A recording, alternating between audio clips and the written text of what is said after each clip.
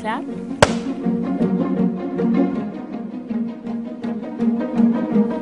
I mean, when I first heard about this project, I was really excited. Nina is young and she's, you know, playful and she's, you know, going out on an, an adventure and she's doing all these things.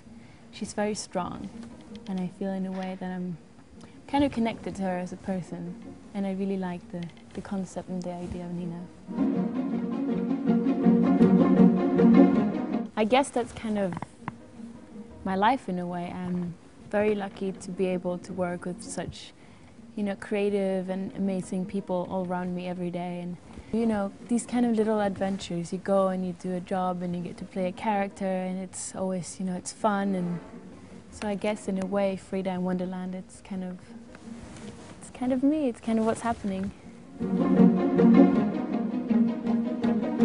Everything that I still haven't done, everything I haven't experienced, all the people I haven't met, those are the things I dream about.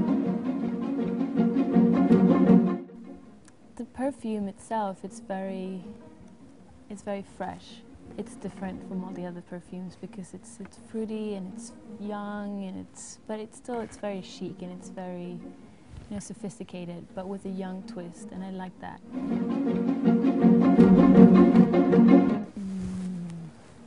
Both.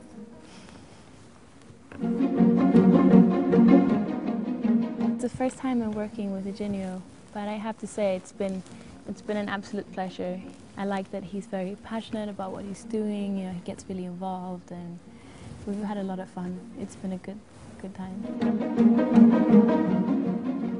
Uh, I don't think I can tell you because then it wouldn't be a secret anymore.